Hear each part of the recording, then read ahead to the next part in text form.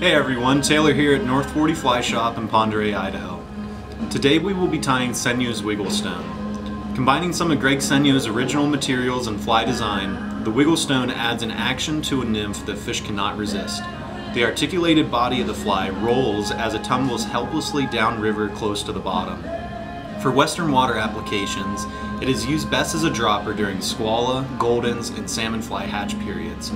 Though designed as a Great Lakes steelhead pattern, it can be tied in many different sizes and color combinations to imitate almost any of the giant stoneflies.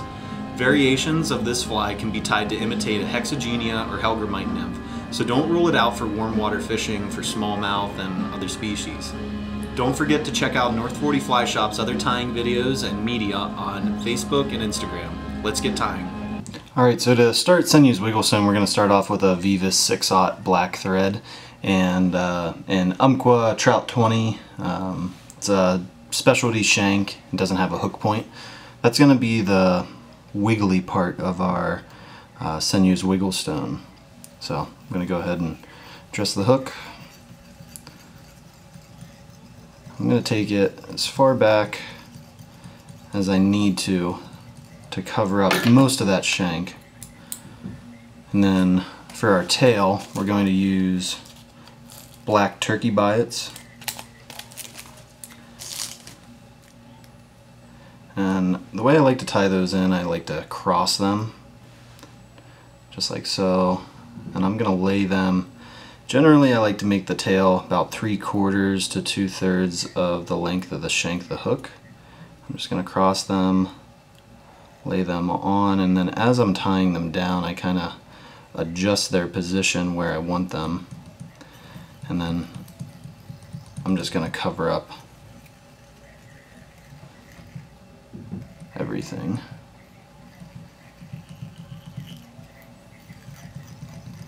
I'm going to wrap back to the very back.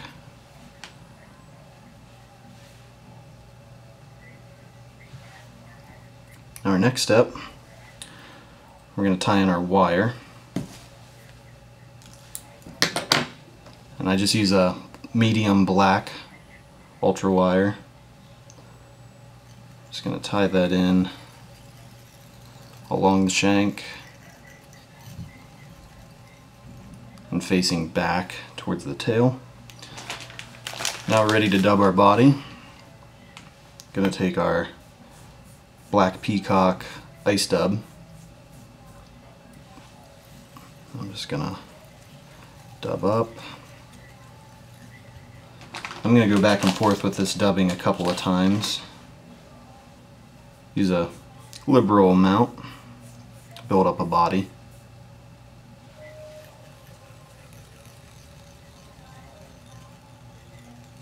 And then I'll use a black thread to kind of smash everything down. You can, you can build up a taper to this body or you can just have it level. It's totally your call. I like leaving it pretty buggy.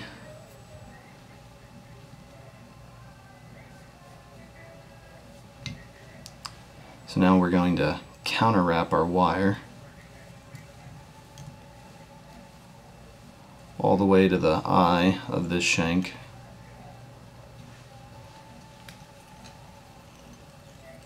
I'm going to wrap over the wire, pull it back, and then I'm going to wrap in front pretty tight and then I'm just going to windmill that off instead of trimming it.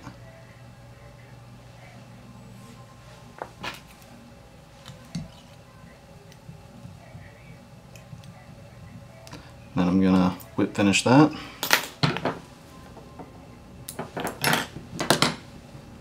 So that's our our rear shank here. Now for a front shank, we're going to use a Umpqua 105 in a size 10. Um, pretty strong nymph hook, down eye. I'm going to dress this all the way back to the barb.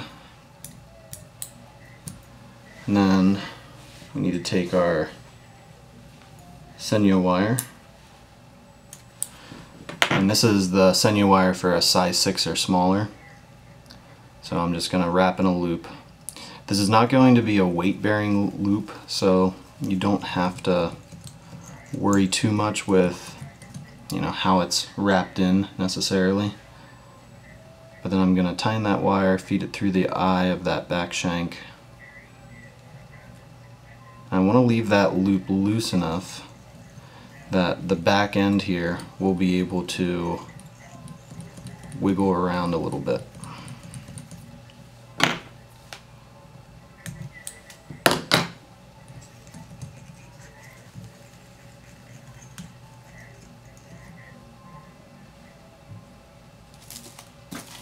So the next thing we're going to do is we're going to take two more biots and we need to kind of estimate where what length they are going to these need to make a wing case and make legs as well. So I'm going to tie them in roughly two times the length of the shank of the hook. We're just going to tie them in straight back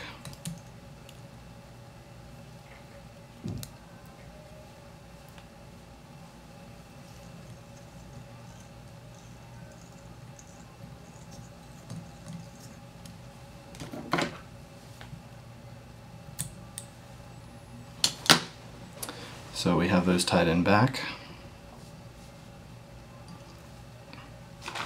Now we're going to take some more black peacock ice dub.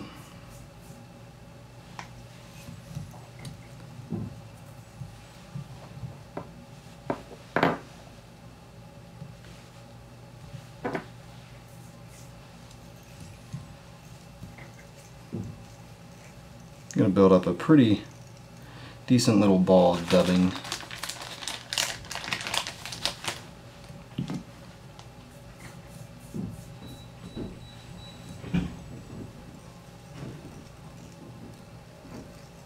About halfway up that shank. And we're going to take those two biots. We're going to wrap or uh, pull them forward. And then each end once they're forward, I actually bend them back again after I tie them down. And this is going to imitate legs. Now, essentially, we're going to repeat that same step again to finish off the fly.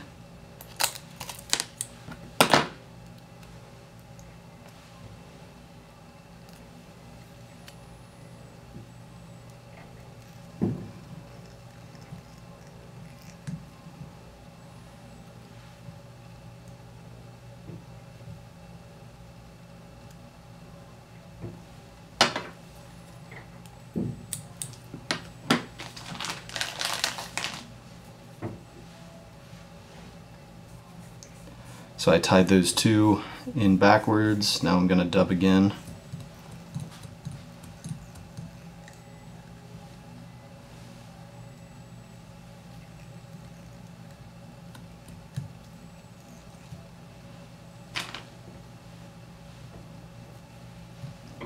I like a pretty thick body.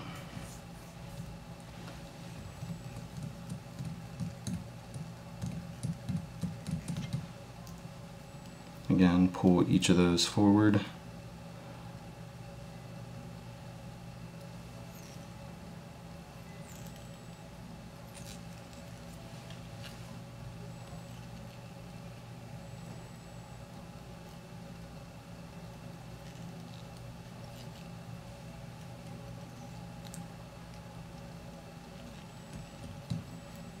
So again, we have two sets of legs now.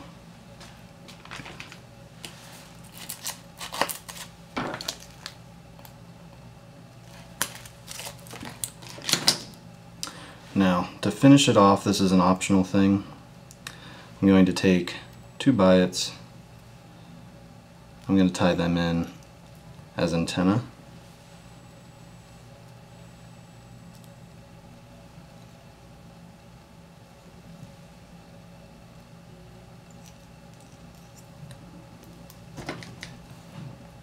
These are facing forward.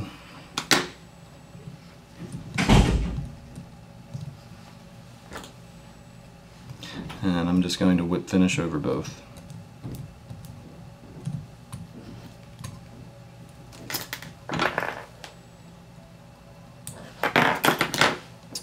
And I like to seal everything up with uh, the Loon Flow.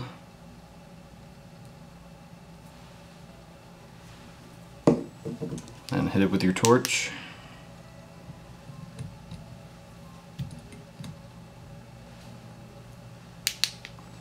And there you have it. So this thing's going to kind of wiggle around in the water.